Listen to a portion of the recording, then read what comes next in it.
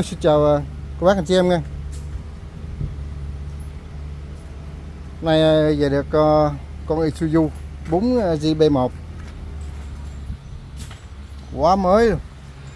Gen ben. Con này chưa có vệ sinh luôn nha cô bác anh chị em. Đời này có cái bơm hơi nè. Đấy. Cô bác anh chị em nào mà lên xe Đưa lên xe là con này có bơm hơi luôn. Quá êm. 15 Càng xe ben. Heo.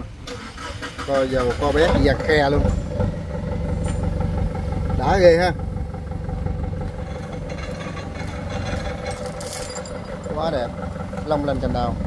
Ngày mai mình ờ, rửa vệ sinh cái mình ờ, quay cho quán chị em xem luôn ha.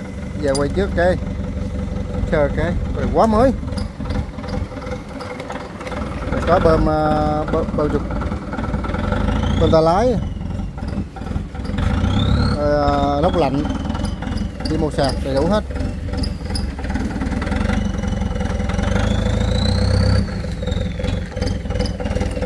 Thì hai em em này em ờ, V3008 V3008 mới ken chưa có gánh mà vệ sinh luôn con này bàn tám mới lắm.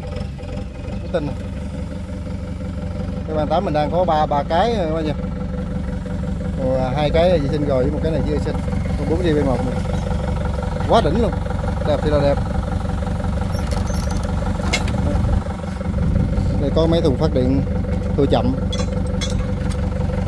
Rồi quý anh chị em nào có à, nhu cầu sử dụng thì à, ủng hộ cho mình ha. Cái hàng mình ở Tân Hưng Long An nha Đấy. Rồi, cảm ơn các anh chị em rất là nhiều nha Xin chào hẹn gặp lại các anh chị em video tiếp theo.